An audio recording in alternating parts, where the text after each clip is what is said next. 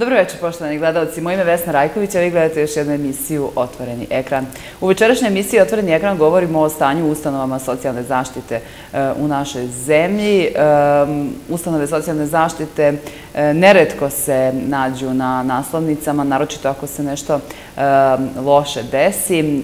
Međutim, redko kad tu postoji i ona druga strana priče o tome koji zapravo problemi postoje ovim ustanovama i zašto do takvih situacija uopšte i dolazi. E, drago mi je da večeras u emisiji Otvoreni ekran možemo da otvorimo i ovu temu, a e, moj gost večeras u studiju je Ljubinko Ilić, predsjednik pododbora za socijalnu zaštitu Sindikata zdravstva i socijalne zaštite. Dobroveče, dobrodošli na Kanal 9. Dobroveče vama i vašim gledalcima i ovom prilikom da vam se zahvalim na pozivu. E, evo, za početak večerašnje emisije da kažemo, vi ste iz e, Sindikata zdravstva i socijalne zaštite. Mi ćemo večeras u emisiji malo više govoriti o ovom drugom e, delu naziva, malo više, da, o zdravstvu smo govorili u prethodnim nekim emisijama dosta, malo ćemo večeras više o socijalnoj zaštiti, ali evo da kažemo samo koga se sindikat okuplja, dakle koga vi večeras ovde reprezentujete? Pa ovako, Sindikat zdravstva i socijalne zaštite ima tradiciju dugu, to jest postojimo već 26 godina. E, sindikat okuplja oko 70.000 zaposlenih, što u zdravstvu, što u socijalnoj zaštiti. E, što se tiče socijalne zaštite konkretno, e, sindikat ima oko 1400 radnika koji su u sindikatu. Okupljamo sve sva zanimanja, od spremačice pa do defektologa, čak smo imali i lepe primere gde su nam i direktori bili članovi sindikata. Mhm. E, dobro, kada govorimo e, o socijalnoj zaštiti, e, šta tu zapravo sve spada, kad kažemo, dakle, koje su to sve ustanove koje, u koji, čiji radnici pripadaju vama? Pa kada pričamo o socijalnoj zaštiti, u, u, u sklopu socijalne zaštite su centri za socijalni rad, gerontološki centri, domovi za decu, domovi za ustanove u stvari za smeštaj korisnika, kao i Zavod za socijalnu zaštitu. Mhm, mhm. I koliko je to ukupno zaposlenih u tom sektoru u našoj zemlji? Pa evo po, po novim ovaj, novoj cifri koju imamo od pre mesec dana, u socijalnoj zaštiti radi 9226 radnika. 9226, da. E, Evo kad ovako sad generalno vas neko pita, uh, pa kako vam je? U smislu, dakle, kako je generalno neko stanje u ustanovama socijalne zaštite? Pa kada gledamo, gledamo sa aspekta sindikalnog rada, u ustanove socijalne zaštite su nekako degradirane. Uh, ako vi, kada bih vam rekao da 700.000 korisnika socijalne usluge imamo, u zemlji Srbiji, a 6 miliona, 6 miliona imamo stanovnika, to vam sam, samo govori koliko, koliko je u stvari socijalnih slučajeva u, u ovoj zemlji. 9226 radnika je jako mala cifra na, na sav taj problem koji imamo. Mm -hmm. I posao koji... Koji obavljamo, naravno. Koji postoji. Naravno. Da. Ima li nešto što je dobro? Pa, Pomaci, pomaci u poslednjih nekoliko godina se vide i mogu vam reći da onako e, u saradnji sa ministarstvom resornim e, dolazimo, dolazimo do nekih zaključaka i dolazimo do nekih novih zakona, ideja, tako da nam je zadnje 3-4 godine krenulo, krenulo na bolje. Krenulo je malo bolje. Krenulo je. Nadam se da to i korisnici osjećaju. Pa, korisnici kako da vam kažem, ovaj, nisu, nisu nikad ni bili u nekom podređenom položaju. Mi smo se uvek trudili kao radnici i trudimo se i dalje kao radnici da ispunimo sve svoje obaveze prema njima, tako da korisnici su uvek, treba da budu zadovoljni i uvek na prvom mestu, što se nas tiče kao radnika. Da. E, nažalost, mediji baš vole one slučajeve kada e, to baš nije tako i kada možda baš ne ispadne sve onako kako bi trebalo. Poslednjih e, dana, hajde da kažemo. Centri za socijalni rad su bili e, u, u žiži interesovanja javnosti povodom slučajeva e, nasilja i sad nećemo pričati o tome, e, o, o, tom konkretnom slučaju, odnosno slučajevima, nego onome šta je pozadina čitave te priče, kako vi to vidite. Nije to jednom da se desilo i nisu uopšte situacije u kojima, dakle posao koji obavljaju ljudi koji rade u centrima za socijalni rad nije uopšte jednostavan, to je vrlo složeno i kompleksno i raditi sa ljudima i sa decom i tako dalje. Dakle, tu ima e, mnogo ovaj, e, aspekata sa koji se to može posmatrati. Kako vi kao sindikat vidite e, takve situacije u kojima Zapravo, vi dođete na, na, na naslovnicu po lošem, jel? Mi dođemo uvek na metu, na metu ovaj, novinara i na metu medija, ali nije sve tako, nije sve tako ovaj, crno kao što izgleda. Nažalost, ovi tragični slučajevi koji su se desili, stvarno možemo reći da su potresli sve sve nas zaposlene, a i nadam se i čitavu Srbiju. E, slučajevi su se i dešavali i ranije. Znamo da je pre par godina u Sremskoj kamenici bio ishod, smrtni ishod e, kuvarica je ubijena isto, koliko znamo i unazad, unazad kada pogledamo isto su se dešavali takvi slučajevi što u zdravstvu, što u socijalnoj zaštiti. Ovaj, mi kao sindikat su, smo odma ovaj, uputili sutradan dopis ministru e, da, da se sedne i da se razgovara vezano, vezano za problematiku koju ne samo trpe centri za socijalni rad, nego trpe ustanove socijalne zaštite. Mm -hmm. Dobili smo, dobili smo ovaj, takođe smo i uputili, da ne pričamo o tome da smo 2006. godine čak uputili da se, da se promeni krivični zakon, da se jednostavno ovaj, drugačije e, kaznena politika sprovodi na nad, nad ljudima koji izvrše krivično delo na mm -hmm. socijalnim radnicima kao i na rad, zdravstvenim radnicima, nebitno. Ovaj, međutim, nismo dobili nikakav odgovor. Da, sad su i bile neke izmene zakonika, nije uvršćeno, jel? Tako je. E, sada je, izašao je novi zakon koji, nadam se, još je rano govoriti o njemu, e, nadam se da će uroditi plodom. Aha. Dakle, bilo je nekih izmena u tom pogledu? Bilo je izmena, naravno. E, što se tiče odgovora ministra, mi smo 17. jula imali sastanak sa novim ministrom, gospodinom Zoranom Đorđevićem, gde je on okupio što predstavnike sindikata i direktore centara za socijalni rad, gde je želeo da čuje, da čuje uh, onu loš, lošu i, i dobru, dobru ovaj, stranu uh, poslovanja, to jest kako, kako funkcionišu centri za socijalni rad. Mm -hmm. I uh, nadam se da, da će biti pomaka u svemu tome, a koliko vidim i da ima pomaka, jer je već pre neki dan su krenuli sastanci sa lokalnim samoupravama e, i sa gradonačelnicima gradova, gde će se, gde će se ovaj, što pored video nadzora u centrima za socijalni rad i obezbeđenje koje će dobiti centri za socijalni rad, ovaj, još neke e, novine uvesti, tako da će svi biti, svi biti ravnopravni u stvari u u celoj Srbiji. Jel imamo primere, na primjer, loš, e, e, imamo, na primjer, primer dobre prakse u Jagodini, u Leskovcu, u Paraćinu, gde su oni sa lokalnom samoupravom već sami obezbedili e, obezbeđenje. Njima je lokalna samouprava odredila, dala im je obezbeđenje, stavili su video nadzor. Imate u Novom Sadu, na primjer, SOS telefon, koliko čujem, sada treba da se radi, radi u Beogradu takav ovaj, sistem I, Kakav je SOS telefon? Pa za nasilje, mm -hmm. uglavnom, to je nasilje nad ženama i mm -hmm. ovaj, to je već unazad nekoliko da, godina funkcioniše.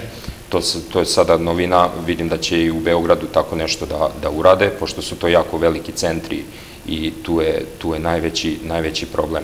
Jer vi na lokalu, na lokalu uglavnom vi e, znate centri za socijalni rad znaju ko je nasilnik, ko je prestupnik, ko je kakav, uglavnom u manjim sredinama to bolje funkcioniše, jer već imaju neki, neke, ovaj, jel tako, dosije ko je, mm ko je kakava u velikom gradu kao što je Beograd, vi ne znate, ili ono kad kažu, ovaj, kod psihijatra kada ulazi pacijent, on psihijatar je pripremljen, on zna da će mu doći neko, da mu dolazi neko sa diagnozom, a kada kod socijalnog radnika uđe neko, vi ne znate da li će mu u sekundi se pomračiti um ili šta će se izdešavati. A neka saradnja sa ustanovama zdravstva i tako dalje? Pa dobro, to, to uglavnom im, imamo. Imamo, naravno. E, blisko, blisko sarađujemo sa zdravstvenim ustanovama i ono što bih još želeo da kažem to je da e, socijalni radnici kod nas imaju legitimaciju kao status, nemaju status službenog lica, ali imaju legitimaciju koja u stvari e, nije, nema na sudu toliki, e, njihova reč toliki značaj nema na sudu kao, kao sudije i mislim da bi tu trebalo malo, malo poraditi po tome, a to koliko sam na sastanku čuo da će ministar ovaj, izdejstvovati to, da će razgovarati sa ministarstvom pravosuđa i ministarstvom policije. A šta to konkretno treba da izdejstvuje? Pa kažem vam, e, konkretno, konkretno da, da, će, da u celoj Srbiji e, sistem funkcioniše isto.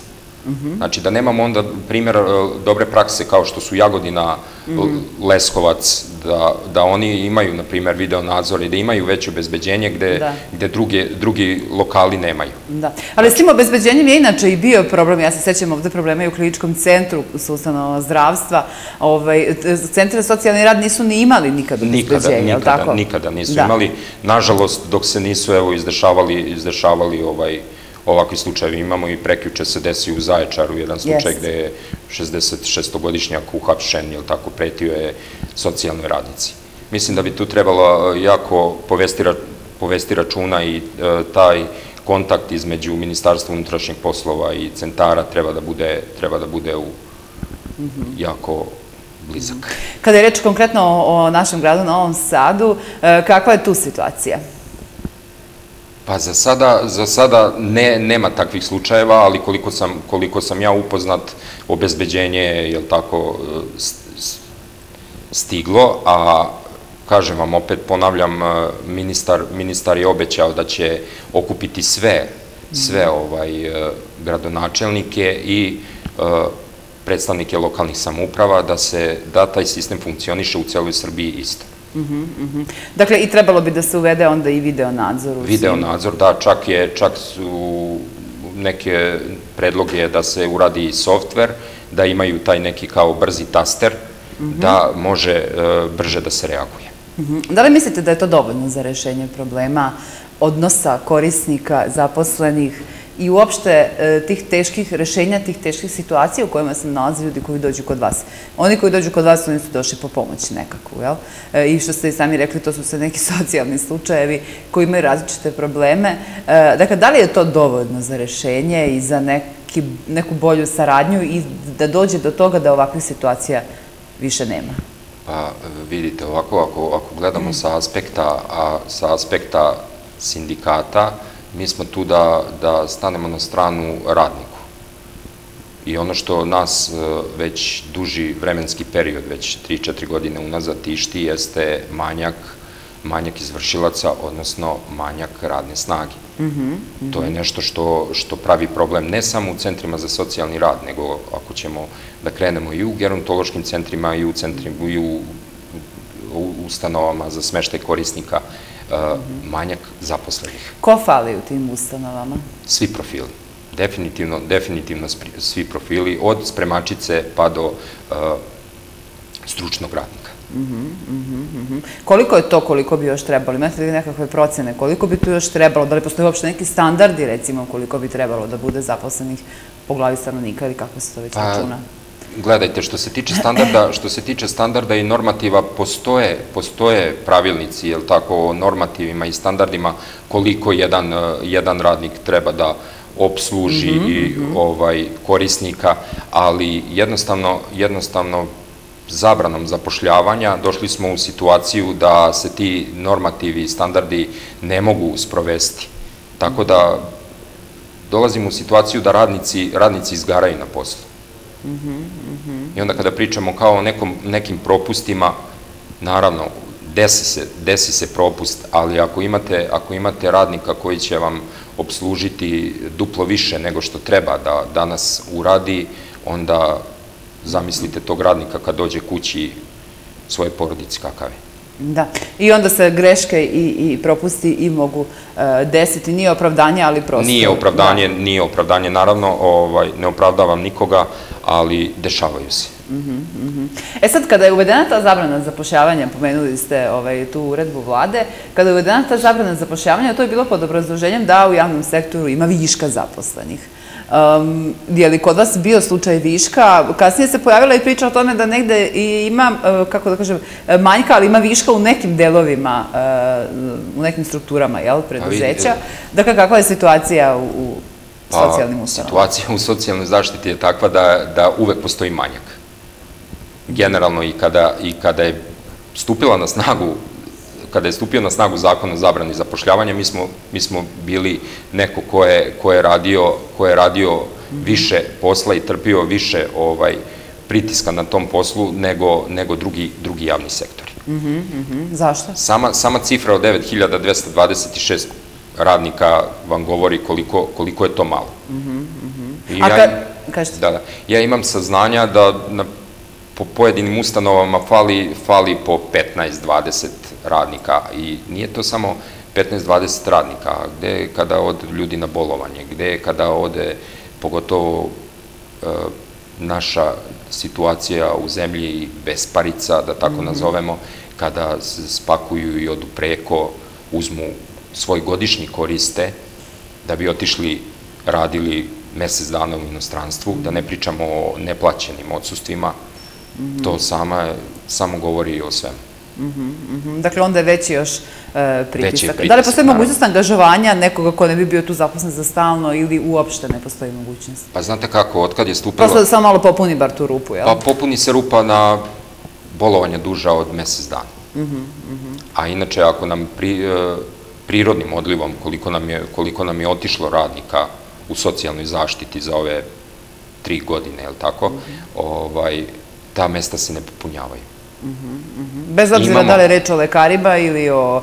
Um... Pa znate kako, mi kao ustanova u kojoj radim, pošalje se saglasnost ministarstvu i čeka se, čeka se ta saglasnost, uh -huh. ali nikakav odgovor se ne dobije. Uh -huh. E sad, postoje naravno razgovori, razgovori su vođeni u, sa ministarstvom u tom pravcu da, da jednostavno moraju, moraju na neki način da popuštaju i da se, da se na svakih šest meseci pravi neka uh, revizija, da, da se vidi gde fali, šta fali i da moraju da zapošljavaju. Uh -huh. Sad kada ste bili na sastanku sa ministrom, da li je bilo o tome reči? E, konkretno nismo, nismo ništa, e, konkretno mi smo na, naglasili, naravno, uvek naglašavamo kao sindikat da, da postoji manjak zaposlenih i da je, to, da je to glavni problem koji nas kao sindikat tišti. Mm -hmm, Ali, Ali još uvek, još uvek konkretnih, konkretnih ovaj, odgovora nema. Nadam se, nadam se, pošto je novi ministar, ovaj, kažem, sa ministrom Vulinom smo imali, imali naznake neke, krenuli smo, krenuli smo dobrim putem, međutim, eto, sad, je, sad nam je došao novi ministar, pa ćemo polako da, da ulazimo u priču i sa novim ministrom. Sve svemu zadovoljni ste kako je počela ta pa, saradnja? Kako je, kako je počela, nažalost, nismo zadovoljni e, povodom, povodom koji, sa, kako smo se susreli, ali ovaj, nadam, se, nadam se dobro saradnje. Uh -huh, uh -huh. Kada pogledate te normative, koliko ste rekli da je to još ljudi, koliko fali u, u ustanovama? Pa gledajte, minimum, minimum je još jedno 10-15%. Još 10-15%? To je, to je neki minimum onako uh, sa gledišta sindikata. Naravno, ministarstvo će reći uvek manje, pa se negde može, moramo naći na sredini. Mm -hmm. Jer problem, problem definitivno je problem ovaj, zabrana zapošljavanja. Koja je već godinama, je Koja je već godinama, da. E, kada govorimo o, platama u, zaposlenih e, u socijalnoj zaštiti, e, šta vi kažete, jel ste li zadovoljni? Pa naravno, mi kao sindikat nikad nismo zadovoljni, niti ćemo biti, pogotovo što je nama, nama pre tri, tri godine skinuto, ili tako, 10%. Dobili smo povećanje prošle godine 3%, ove godine smo dobili 5%, tako da bi se vratili na nivo od pre tri godine, trebalo bi još nekih 2,7% u stvari, mm. da ne računamo inflaciju koja se, da. koja se za te tri godine ovaj, koja je za te tri godine i bila. Ovaj, što se tiče plate, plate su enormno male. Šta to znači enormno male? U kom rasponu su te plate zaposlenih u socijalnoj? Pa evo ovako, jedna je, da konkretno, jedna spremačica uh, koja radi, njoj se računa plata 130 dinara puta broj sati.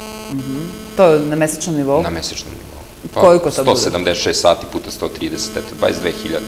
Mm -hmm. Jedna negovateljica ima koeficijent 1069, mm -hmm. to vam je 25-6 hiljada plate. Mm -hmm. Drugi zaposleni? Isto. Jako su, ma, e, imate 30 hiljada, 34, to je, to je neka plata zdravstvenog radnika u mhm. socijalnoj zaštiti. -hmm. Dakle, oni su naj, najplaćeniji u tom? Pa, najplaćeniji. Da. Da ne pričamo o tome da negovateljica jedna, negovateljica je stup, stup ovaj, rada u ustanovi domskog smeštaja. Mm -hmm. I jedna spremačica, i jedna kuvarica, i jedna vešerka koja, koja ima platu 22.000. Da, to, na, na zapravo minimalna plata. Minimalna plata, jeste. I na sve to radi, radi dupli posao kada joj koleginica ode u penziju ili kada imate neki smrtni ishod da. u ustanovi gde ne možete posle zaposliti nikog na to radno mesto, a tamo negovateljica ili spremačica ili neko radi onda dupli, dupli posao. Dupli posao. A za, da pritom nema nikakvu nagradu. E sad što se tiče tih, je tako, nagrada, to bi mogli odmah vezati i vezati ovaj zakon o javnom sektoru koji je, je tako, bliži se, bliži se kraju i trebao bi ove godine da bude usvojen. Mm -hmm. Tu imamo pomaka jer smo tu prvi put posle neverovatno ovaj, od Ministarstva financija dobili zeleno svetlo da za takve radnike koji rade posao, zamenjuju nekoga duže od 10 dana ili 20 dana, dobijaju dodatak na platu. Eto, to je mhm. neka novina koja nas iznenađuje i koja je onako pozitivna, pozitivna, mhm. gledamo sa pozitivne strane. Da, smatrate da je to pošteno? Pa, smatramo za početak da je pošteno. Mada bi trebalo, naravno, još. Znači, da zaključimo, plate u zaposlenih u socijalnoj zaštiti kreću se u rasponu od do? Pa od minimalne zarade do 35.000 koliko je, koliko je plata jednog zdravstvenog radnika. Naravno, ovaj, naravno, fakultetski obrazovani, to jest socijalni radnici, defektolozi imaju veću platu. Mm -hmm. Ali uh, gledajući, gledajući uh, uh, radnike koji su, jel tako, na, na nekoj nižoj lestvici. Mi imamo 4-5 grupa poslova koji su, tako reći, ispod, ispod minimalne cene. Mm -hmm. Za koliko rade visoko obrazovani? Pa sada tačno nekih 45 do 50 hiljada -hmm. dinara. Dobro, znači, vi smatrate da bi vaše plate trebale biti e, i veće i plus vraćene za ono što su... Pa naravno, naravno, naravno. Bilo, kažem vam, da bi došli na nivo, da bi došli na nivo od pre tri godine, trebalo bi još da se poveća 2,7% bez uvećanja inflacije koja je, koja je bila za tri godine. Mm -hmm. Da bi došli na nivo od pre tri godine. Mm -hmm. Ne računajući, tako, sve oscilacije. Da. E, kada još govorimo o, o kadrovima, e, često je u našoj zemlji i to e, tema da zapravo nemate koga da zaposlite, da nema stručnog kadra. Kada je reč o socijalnoj zaštiti, Kako je stanje? Pa, ima li tu dovoljno pa ima. ljudi koji bi došli da rade? Ima, naravno, ima. I svakodnevno, svakodnevno kod, kod mene u ustanovi dolaze, dolaze ljudi, traže posao. Mm -hmm. Naravno da ima, hoće da rade.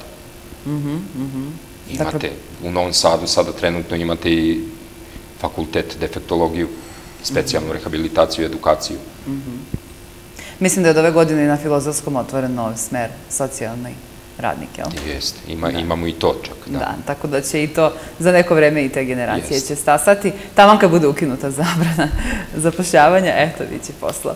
E, dobro, e, pozvaćemo naše gledalce da nam se priključe u razgovoru. 021-522-733 je linija koja je otvorena e, za vas. Večeras govorimo o stanju u našim ustanovama, ustanovama socijalne zaštite, pre svega o zaposlenima i izazovima sa kojima se oni suočavaju svakodnevno, a koje mi kao korisnici nekad vidimo, a nekad i ne baš. Evo, pomenuli ste zakone, U pripremi je i novi zakon o socijalnoj zaštiti. Evo, za one koji ne znaju o čemu se tu zapravo radi, šta taj zakon ovo donosi vama kao zaposlenima? Evo ovako, ovaj, zakon o socijalnoj zaštiti 2011. godine je izašao kao nov. I to je trebalo da bude, trebalo je da bude krov, krov svega što se tiče socijalne zaštite. Međutim, odmah na početku smo ustanovili da su neke, neke stvari ovaj, nepojmive e, u praksi sa zakonom. Međutim, e, u ministarstvu su se pravdali da će se podzakonski, podzakonskim aktima rešiti, rešiti ovaj, te stvari koje nismo, nisu se mogle rešiti zakonom. Koje su to bile konkretne stvari? Pa evo imamo konkretnu situaciju gde smo dolazili, dolazili tako reći, nazovimo, nije, nije, nije sukob, nego sa nevladinim organizacijama gde u zakonu o socijalnoj zaštiti ustanove domskog smeštaja su mogle da e, smeste do 100 korisnika odraslih i 50 korisnika mladih. Dobro. Mi imamo ustanovu nedaleko odavde u Veternik, gde imamo 526 korisnika. A maksimum je bio? A maksimalno po zakonu je bilo do 100 odraslih i 50 mladih. I onda naravno da ćemo doći u sukob u sukob sa nevladinim organizacijama koje su došle kod nas kao i zaštitnik građana i rekli ljudi šta vi radite. Da, i šta ste vi rekli šta radite? Mi radimo najbolje, najbolje za, za, tu, za naše korisnike, ali jednostavno zakon, zakon je bio u koliziji sa onim što, što mi radimo. Međutim, to je trebalo da se reši podzakonskim aktima, to se, to se nikad nije ni rešilo. I... Kako bi moglo da se reši pod zakonskim aktima? Jedino da se otvore nove ustanove pa da se ti korisnici raspodele? Pa znate kako ovaj, e,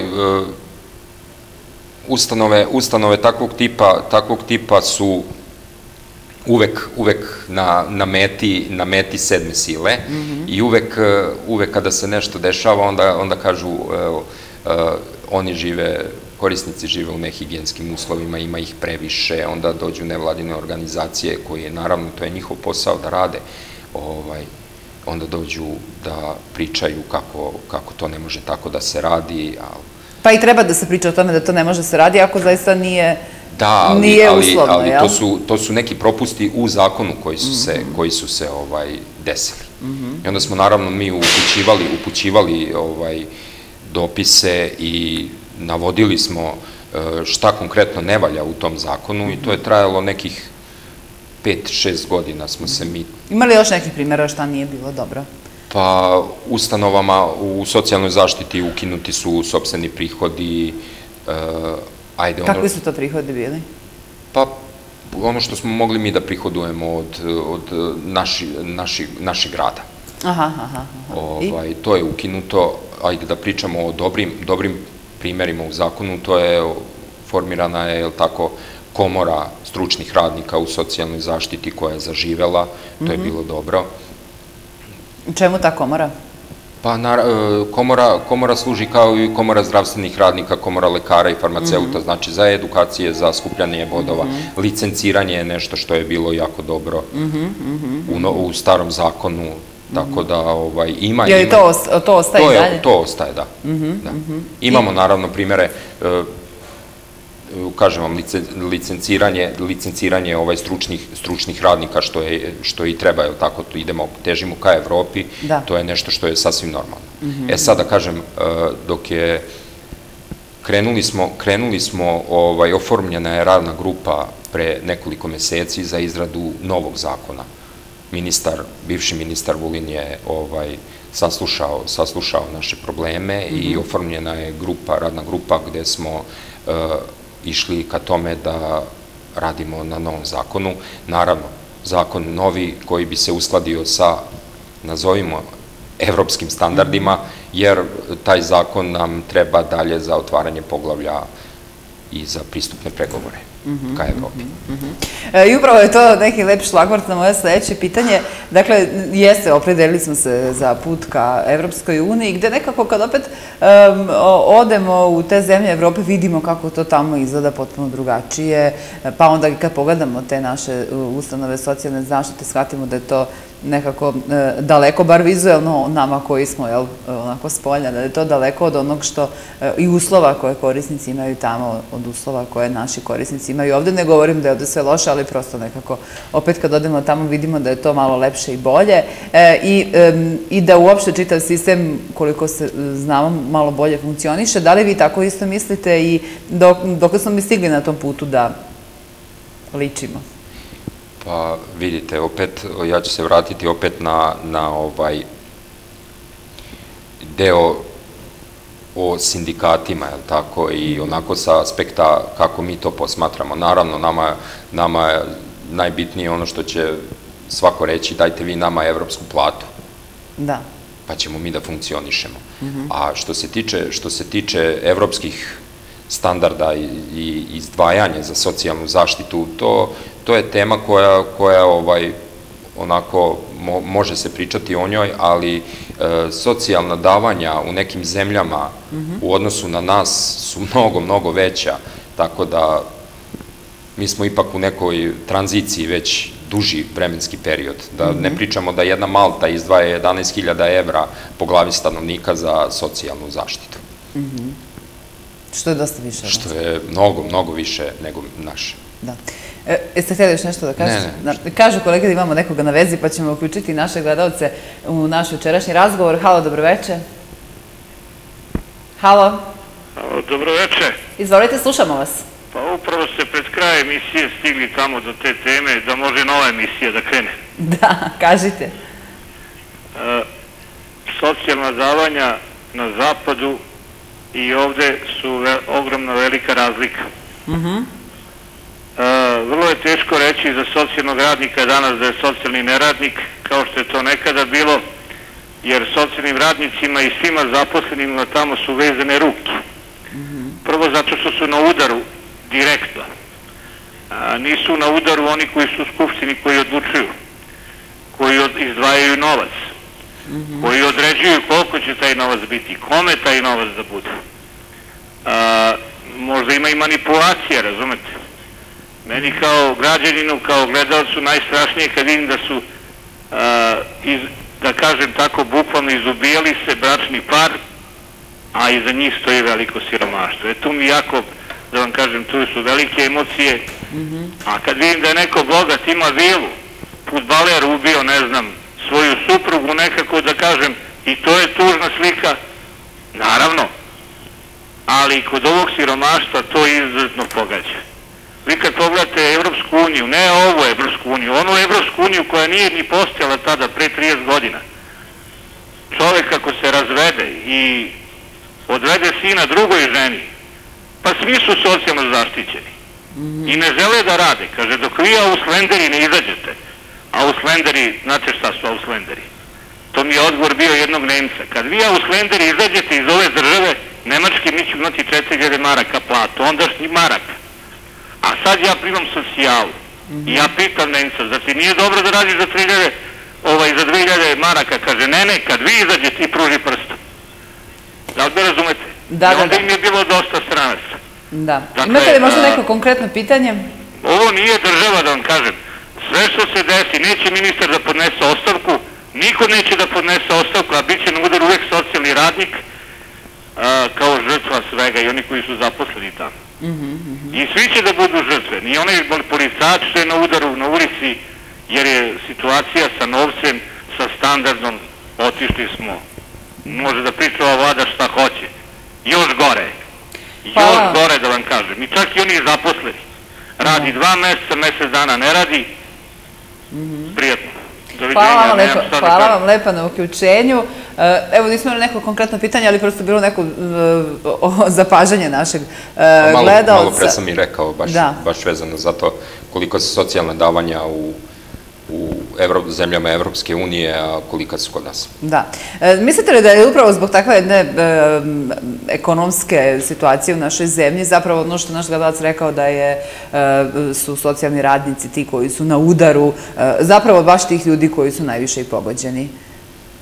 Pa, znate, znate kako, naravno, financijska, financijska situacija u, u svemu dosta, to, dosta utiče na, na situaciju i u porodici i dešavanjima svega, ali to je opet neko, neko pitanje koje bi trebalo onako sa nekog drugog aspekta posmatrati. -hmm, mm -hmm. E, često to kada govorimo da ste na udaru e, tih e, ljudi koji dolaze, oni su zapravo, ne, e, da li su oni nezadovoljni vašim uslugama ili onim što im je od strane države omogućeno. Znate, ja znam mnogi slučajeve gde su ljudi odlazili u neke ustanove, pa se svađali tamo s tim ljudima koji rade, pa njima to nije dovoljno, pa trebalo bi ovako, trebalo bi onako. E, naš gledalac je rekao jednu lepu rečenicu, ljudima su vezane ruke za neke stvari. E, da li su zaista vezane ruke ili ne? Pa na, naravno, da su nam, naravno da su nam vezane, jer nismo mi ti koji će odrediti, jel tako, socijalna, socijalna davanja koje će, će e, korisnik socijalnih E, usluga dobiti, e, mi smo samo neko ko će da sprovede, sprovede sve to u delu. Mm -hmm. E sad, po novom zakonu, zakonu o socijalnoj zaštiti, treba da se uradi ta socijalna, da svaki korisnik socijalnog davanja ima svoj karton, da, da, da ta davanja budu, budu jednaka, jednako raspoređena, da se zna kome će se, kome će se tačno dati, e, dati socijalna pomoć i kako će se koristiti. To je nešto što je još e, ministar Vulin ovaj, e, krenuo u u priču sa, sa tim, a ja se nadam i da će ministar Đorđević mm. nastaviti. Nisam baš najbolje razumela kako bi to funkcionisalo? Pa so, priča, je, priča je socijalna karta. Znači Aha. i oni radno angažovani ljudi koji, će, koji mogu da rade, a i nadam, e, gledajte, verovatno tu ima i zloupotreba, je li tako, ako ćemo da pričamo, ako ćemo da pričamo baš otvoreno. Ne kažem za sve, ali za neke, za neke stvari uvek ima zloupotrebe. Da. Zato je najbolje uraditi socijalnu, socijalnu kartu, da svaki korisnik socijalne pomoći i, i da, da ima svoj, svoj neku evidenciju i tačno da se e, novac koji, koji se opredeljuje za e, socijalnu zaštitu koristi, koristi ravnomerno. Mm -hmm. E, evo, stigli smo do samog kraja večerašnjeg druženja. Ono što još želim da vas pitam, da li rad apotekarskih ustanova spada pod vaš sindikat? Pa naravno, naravno, mi smo sindikat zdravstva i socijalne zaštite, mm -hmm. pomno pratimo i učestvujemo u svemu što se tiče apoteka. Šta je tamo, dokle se sada to stiglo, e, tu je bilo i da e, su i kasnile plate i e, nije bilo lekova i onda su se tu umešao se bio u Novom Sadu i, i gradska uprava i gradonačelnik rekli da će pomoći. Pitanje čije su apoteke nadležnost, vrlo jedna kompleksna onako pa, tema. Veoma, veoma kompleksna tema i može se pričati o njoj da. jako, jako dugo. Rešenja, rešenja još nema. Mi smo, dve, kao sindikat 2012. smo čak ovaj, apelovali i krenuli u priču sa, sa ministarstvom da jednostavno problem, problem o apotekama postoji. Međutim, niko nije imao sluha za sve to. Mi smo davali konkretna rešenja šta da se radi, ali, ali do sada nema nikakvog pomaka. Stojimo u mestu. Zakon o apotekarstvu je donešen 2000 2012. 2016. je dorađivan, početkom januara 2017. je prošao javnu raspravu, trebao je biti usvojen, međutim još ništa se tu ne dešava. Mm -hmm. Šta bi taj zakon doneo? Pa da, da bude e, državne apoteke i privatne apoteke, da vode ravnopravnu trku u, u svemu. Mm -hmm. Jer vi imate, vi imate privatne, privatne apoteke koje nemaju tendere, koje mogu da nabave lekove kako hoće, dok u državnim apotekama imamo problem tendera i onda dođemo u situaciju da konkretno za Novi Sad 250 zaposlenih u apoteci Novi Sad 7 meseci im kasni plate. Dođemo u situaciju da je sada od 250 došlo uh, na brojku od 180 radnika. Ljudi su dali otkaz, jel? Ljudi od, odlaze jednostavno. Uh -huh. I to je, to je problem koji, koji se dešava. Imamo situacije sada gde, gde se nezakonito, nezakonito ovaj, privatnici zakupljuju državne, državne lokale od apoteka i otvaraju apoteke. Jer zakon o apotekarstvu stoji, a nije, do, nije donešen zakon. Bilo je priče da ne može jedna apoteka pored druge da bude u razmaku od 200-300 metara i mnogo, mnogo što šta. Samo uh, mi smo tražili, kažem vam, konkretno, da, ima, da se vodi ravnopravna trka između državnih i privatnih apoteka. Mm -hmm. Apelovali smo na to pet godina unazad, jer nije to jedini problem koji se dešavao, znate šta se izdešavalo sa stomatologijom u zdravstvu, krenula je apoteka, šta je sledeće? Doći ćemo do rehabilitacije, laboratorije, sve jedno po jedno polako uh, ide u neki privatan sektor. I da je to ponuđeno kao rešenje, da, ali da znaju radnici, oni ko, kojima kasni plata sedam meseci, ljudi, idete u privatan sektor, nije problem, ali da se, ali da se kaže.